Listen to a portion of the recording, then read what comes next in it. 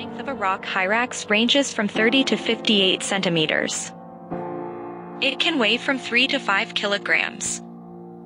Rock hyraxes live in groups. This species is listed as a least concern by the IUCN.